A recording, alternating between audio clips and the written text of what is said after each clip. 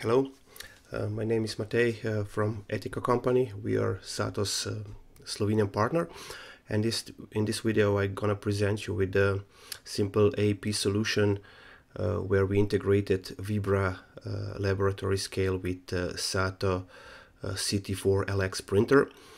both are Japanese products and AEP stands for application enabled printing where the application runs directly on a printer so you don't need a computer you don't need uh, any special labeling software.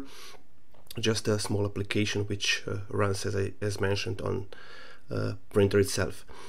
Um, scale is connected to the printer via serial communication and here you can see I'm running the application uh, selecting user which works uh, on a printer on a scale and when pressing memory button uh, scale sends the waste string directly to the printer and the label is printed uh, in designated format.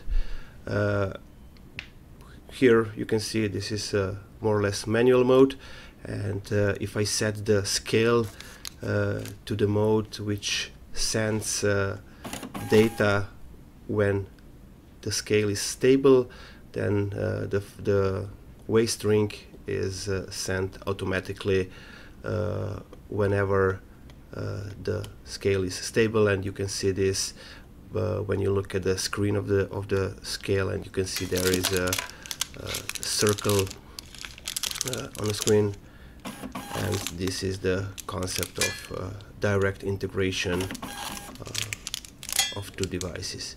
I would like to say special thanks for uh, support and help to the SATO Europe AEP team uh, and uh, technical support team. Uh, and if you have some additional questions, please uh, send us an email and we'll try to explain to you the concept. Thank you very much and have a nice day.